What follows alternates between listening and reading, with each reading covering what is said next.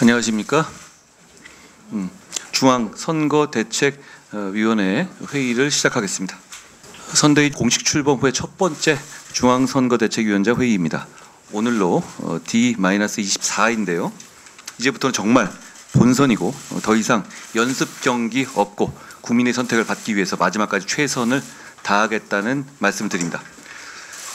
이번 선거는 대한민국을 후진시키느냐 전진시키느냐를 결정하는 선거이고 범죄자들이 뻔뻔스럽게 폭주하며 방탄해온 민주당의 국회 독재를 심판하는 선거가 될 것입니다.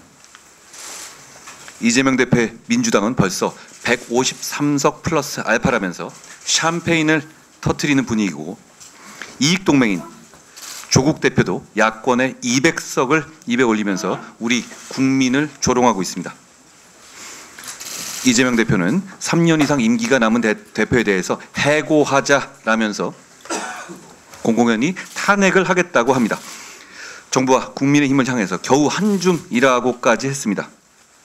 이재명의 민주당, 조국, 통진당의 후예들이 뭉친 후진 세력들의 탄핵 본색이 드러난 것이고 진짜 목표가 드러난 겁니다. 거대 야당인 민주당과 그와 야합한 세력들이 지난 4년간 입법 독재하면서 얼마나 오만하게 국민 알기를 우습게 아는지를 알 수 있습니다. 이런 범죄 세력의 연대가 다음 국회까지 장악해서 난장판을 펼치는 것을 반드시 막아야 합니다.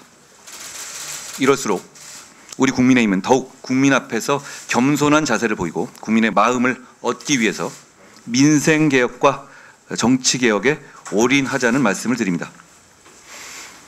이번 총선은 거대 민주당이 장악한 국회 심판 선거입니다. 민주당은 사사건건 국정을 발목 잡고 5인 이상 50인 미만의 중대재해처벌법 유예와 같은 소상공인 정책, 산업은행 이전과 같은 지방 균형 정책을 외면하면서 불법 파업을 부추기는 노란 봉투법, 방송 장악법 등 악법만 단독으로 통과시켜가면서 지난 4년간 입법 독재를 해왔습니다. 국민들께서 선택하신 정부가 제대로 일할 기회 한 번 안 주고 대통령 탄핵을 입에 올리는 것이 정상적인지 어, 저희는 묻고 싶습니다.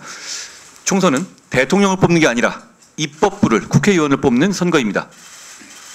이번 총선은 지난 4년간 민주당이 장악한 국회가 만든 난장판을 심판하는 국회 심판 선거가 될 것입니다.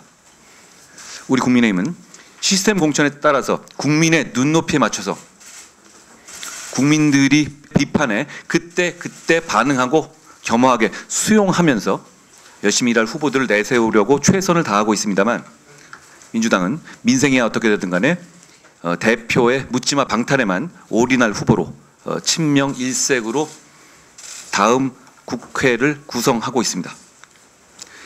어, 대표의 배우자 비서를 한 후보까지 기어코 공천하는 어, 이재명 대표의 사당이지 더 이상 공당이라고 부를 수 없게 되었습니다. 저는 이번 총선에서 민주당의 장악한 국회를 심판하자고 어, 국민들께 호소하겠습니다. 국민의힘은 미래 그리고 전진 세력입니다. 민주당과 조국, 통진당의 후예들이 범죄 연대를 통해서 대한민국을 후진시키려는 세력이라면 우리 국민의힘은 미래 세력이자 전진 세력입니다. 우리는 소수 여당의 어려운 여건 속에서도 반도체 시설 투자에 대규모 세제 지원을 하는 K-칩스법, 노후화된 일기 신도시 재건축을 촉진하는 일기 신도시의 특별법, 주민의 삶의 질과 도시 경쟁력을 동시에 높여줄 철도 지하화 특별법을 통과시켰습니다. 그리고 기업 워크아웃 제도의 존속을 3년간 연장하는 기업 구조조정 촉진법 그리고 대한민국을 5대 우주강국으로 만들 우주항공청법도 통과되었고 그래서 두 달 뒤 출범할 예정입니다. 하나같이 국민이 처한 현실의 삶을 개선하고 대한민국의 미래를 위한 전진하겠다는 입법이었습니다. 저희에게 조금의 의석만 더 있었다면 21대 국회가 이런 밀당 독재로 운영되지만 않았더라면 우리는 더 많은 변화를 이뤄냈을 겁니다. 우리 국민의힘은 정말 일하고 싶습니다. 동료 시민의 삶과 나라의 미래를 위해서 간절히 일하고 싶습니다. 국민의 일상 속에서 진짜 변화를 만들어내고 싶은 마음뿐입니다. 저출산 대책, 의료개혁, 이민 정책 등 대한민국의 미래를 위한 정책들을 지금부터 착실히 준비해 나가야 미래 세대의 부담을 덜 수 있습니다. 우리 국민의힘은 대한민국의 미래를 위해 전진하는 정치개혁 정당입니다. 후진 민주당 세력이 대한민국을 후진시키는 일만큼은 이번 총선에서 반드시 막아내겠다는 말씀을 드립니다. 야당은 민주당 이재명 대표뿐 아니라 본인 방탄을 위한 조국 세력, 대한민국의 안보를 직격하는 통진당의 후예 세력까지 어, 과거보다 더욱 독해졌습니다. 이번 총선은 임기 4년인 차기 국회를 구성하는 중요한 선거입니다. 어떤 세력에게 나라를 맡기시겠습니까?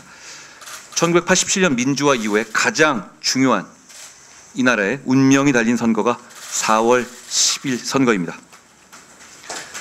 정치개혁 세력, 미래지향 세력, 대한민국을 전진시키는 세력으로서 우리 국민의힘은 이번 총선에서 대한민국을 후진시키려는 범죄 연대 세력들을 반드시 막아낼 것이라는 약속을 드립니다. 고맙습니다.